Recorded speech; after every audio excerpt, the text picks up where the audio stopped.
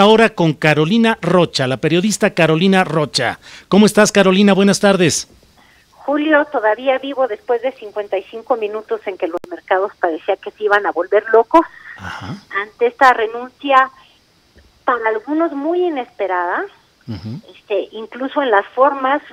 viendo al subsecretario, hoy secretario Herrera, corriendo por los pasillos de Palacio Nacional, pareciera que hubiese agarrado de sorpresa incluso dentro de la presidencia aunque hay algunos que dicen que en el círculo muy cercano de Andrés Manuel López Obrador ya se conocía esta renuncia de Ursúa desde el día de ayer y que se la habían compartido a Ricardo Monreal y al mismo Mario Delgado, que me imagino que se candidateó y dijo, pues yo también puedo entrarle a este asunto de las finanzas, pero qué bueno que se quedó con el subsecretario Herrera, que al menos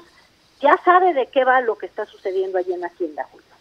Sí, la cara parecería, como lo acaba de decir también Marcela Gómez Alce, pues parecería decir todo, la cara del, del subsecretario, ahora elevado a condición de secretario, pero es alguien que además ya ha conocido pues eh, las variaciones de criterio y los movimientos de ánimo eh, que han hecho que el presidente López Obrador en las conferencias mañaneras contradiga o corrija declaraciones que había hecho antes el propio subsecretario Herrera. Así es que pues ya sabe a lo que le tira, ¿no?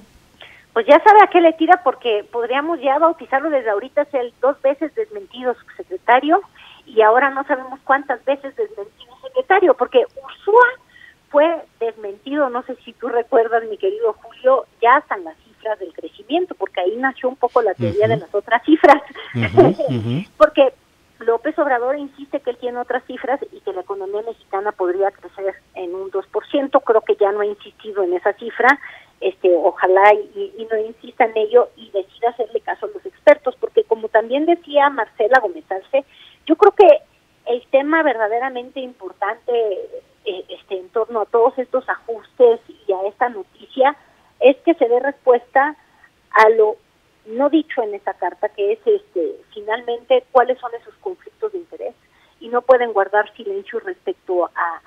a estas personas que no tienen preparación y que están tomando decisiones en la Hacienda. Porque mientras no se aclare y no se dé respuesta, no sé si eso vaya a ocurrir el día de mañana en la mañanera y que Marcelo Ebrard ya no vaya a estar invitado y que el invitado vaya a ser el subsecretario Herrera, pero alguien va a tener que responder a, a esta carta de renuncia de Ursúa, que estuvo solamente 221 días al frente de Hacienda, y yo creo, mira, andaba yo haciendo una, una búsqueda rápida en el Google, y solo después de ser Rapuche, que tú sabes que se fue a los 28 días en el sexenio de Cedillo después de tremenda crisis económica y una pifia del propio Serra que le avisó a la gente que iba a devaluar antes de devaluar, imagínate la salida de capitales que hubo, este, es solamente el secretario menos longevo después de, de ser Rapuche, es decir, en un lapso mayor a 30 años, Ursúa solamente dura en el cargo 221 días y como renuncia también en todo este lapso es solamente la tercera, la, la que le precedió en, en forma de renuncia no esperado este, este, sucesión fue Luis Videgaray, que se fue por el tristísimo episodio de Trump cuando lo invitó en, en, su campaña y pues para muchos fue el que ayudó a que llegara a la Casa Blanca el, el capitán naranja, te iba a decir, pero, pero bueno, nuestro trompudo presidente del vecino del norte. Bien, pues uh, muchas cosas que vamos a ver reacomodos, ya veremos qué es lo que sucede, pero bueno, pues es una renuncia impactante la de hoy, Carolina. Impactante porque es la cartera más importante, porque también es de la que depende,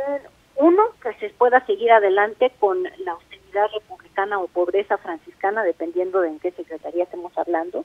Entonces, muy importante. Dos, porque no se ha gastado ni se ha ejercido el gasto como se esperaba, entonces quizás eso se pueda corregir. Este y tres, porque pues es un hombre que era muy cercano Andrés Manuel López Obrador. Ya hemos visto salidas en este gabinete, vimos la salida de Germán Martínez, que fue una lesión, pero no alguien que haya sido cercano a Andrés Manuel López Obrador. Entonces, me imagino que no es una salida dolorosa. vimos irse a personajes como Simón Levy,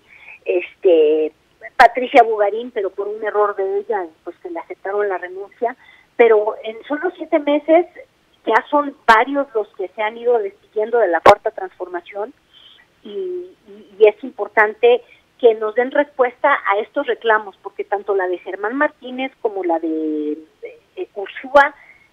hablan justamente de personas metiéndose a resolver asuntos que no les corresponden y que no, no permiten la buena actuación de los secretarios. Y el subsecretario Herrera sí tiene esas respuestas porque él estaba en Hacienda. Bueno, pues ya veremos qué es lo que sucede. Luego nos enteraremos si hoy Alfonso Romo, jefe de la oficina de la presidencia, está tomando té para los nervios o está descorchando alguna botella de champán. Ya lo veremos, Carolina. Champán no es austero. Esperemos que sea aunque sea un mezcalito y, y, ojalá y que nadie esté descorchando nada y que no sea el triunfo de una grilla, porque entonces sí quiere decir que estamos en, eh, en, en malos pasos en esta 4T. Bueno, pues muchas gracias por tu opinión, Carolina Rocha, como siempre. Gracias a ti.